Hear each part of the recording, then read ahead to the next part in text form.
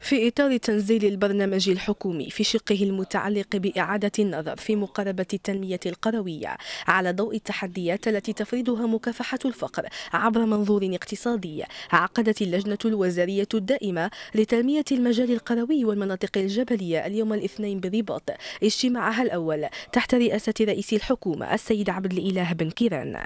لجنة مهمة جدا لأنه المجال القروي سواء تعلق الامر بالجبال أو بالواحات أو بالمناطق الوعره هذه مجالات الدولة دائما بذلت فيها مجهودات كبيرة.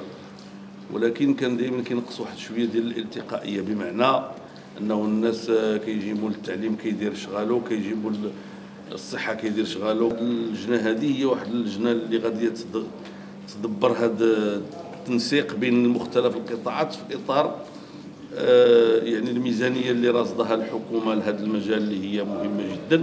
المناطق الجبلية والمناطق القرويه هي مناطق جد مهمه في يعني في التنمية والحمد لله أنه واحد العدد ديال الاستثمارات شملت هذه المناطق يعني في السنوات الماضية ولكن باقي الانتظارات هي انتظارات جد مهمة وكثيرة. وكنعرفوا بأنه صاحب جلالة يعني في جميع الخطاب ديالو ولا كيأكد على الضرورة ديال التنمية ديال هذه المناطق.